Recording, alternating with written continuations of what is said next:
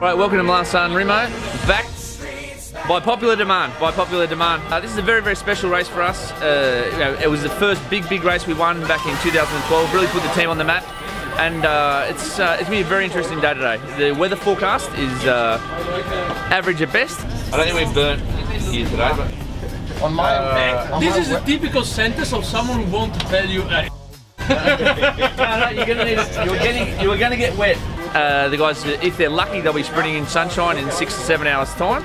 Uh, but we've got a great team for today. We're really looking forward to, to a big, big result. And Caleb's making funny faces behind me as we speak. Uh, that's good. It's uh, we had good preparation, and uh, the guys are really, really uh, keen. keep warm for the first part, and then try to win in the second part. Get to the sprint. Yeah, exactly. It's going to be pretty tough, I think, with the weather like this, but um, it's tough for everyone. So, yeah, hopefully it's a, a good race. Caleb. Caleb. Caleb. Caleb. Caleb. Caleb. Oh, that was Cavendish. Caleb. Hey mate. Are you? Are I'm you ready. doing- I'm rolling. Ah, for me, it's not important about winning, man. It's about the show.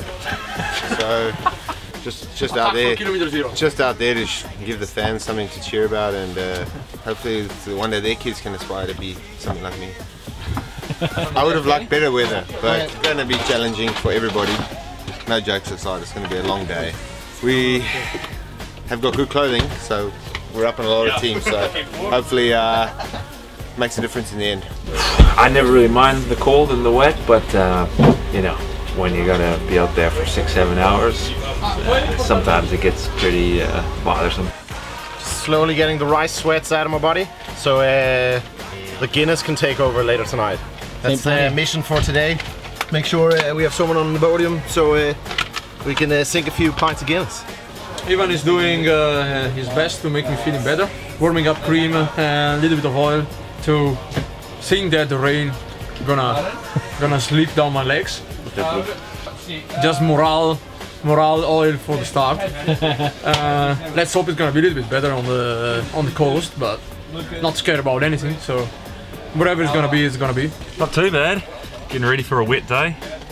Always the same same thing. No matter how long you've been professional for, you always get to a wet day and you don't know what to wear. So plenty of conversations about that going on. Oh, big game of rugby today. England versus Ireland. I Reckon all the Irish pubs around the world would get burnt down if the Irish put the bombs away, which I hope they do. I was going to say, you haven't eaten for half an hour.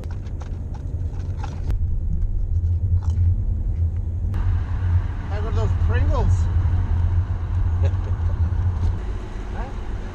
Involved. Oh, Pringles. Yeah, mate. It's, be- it's better for you than Pringles. Way better for the waistline. There's more food in the back if you're still hungry. We're gonna pace it, mate. It was a typical Sanremo, so we cruised until Turchino. We made it pretty hard at Turchino this year. Down, we got shower, uh, sunny shower, and then at the end, as predicted, uh, the sun was shining. Tell me when the main group is coming off the Cipressa. I mean, off the Poggio, mate. The uh, drag race is on once again. Just three kilometres to go towards the Poggio, and it's almost as if it's a finish line in its own right.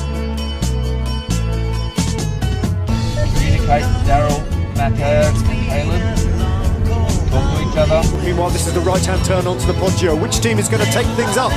Nibali, eight seconds. Matteo is just behind Nibali. But look at Trentin here. He hasn't even his sights with 1.8 kilometres to go. Okay, you're gonna catch Nibali, eh? Doing his best to answer the in the other. Come on, guys, shut it down, shut it down. Hey, where's Caleb? Caleb Ewan opens up its sprint. It's a sprint for second place, though. What, what? We, did, we didn't catch Nibali, we ran second.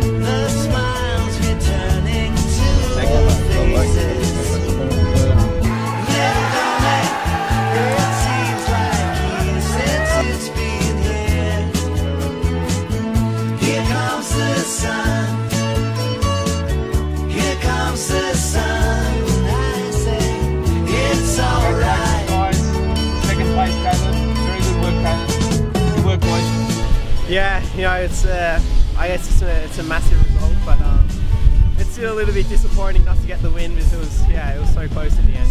Second place, pretty good. Obviously, uh, I think uh, we're a bit. We would have loved for him to win, but second place is uh, fantastic by a little ripper like that. And uh, now we have a good excuse to smash a few Guinnesses. wet and cold, dry and sunny at times. But yeah, it was bloody awesome. Everyone rode so well. Whole team did everything they had to do plus more, and Caleb was not far off taking out the, his first monument. So I think 12 more months and he was and be a good shot that he will for sure. the whole team rode great, and uh, yeah, second is the first loser, but uh, I think today we are we can be happy about the result.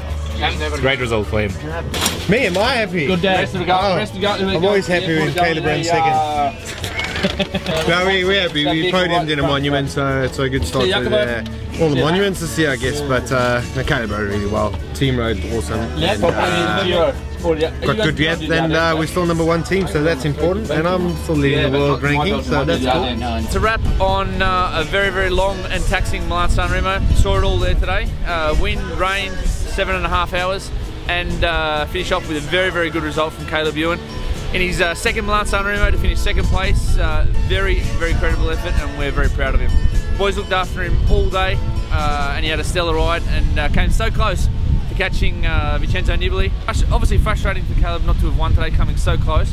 But uh, it's like I said, it's his second second San Remo, and he's got ten more in the can. That's for sure. And we're going to come back and win with Caleb one day, hopefully next year.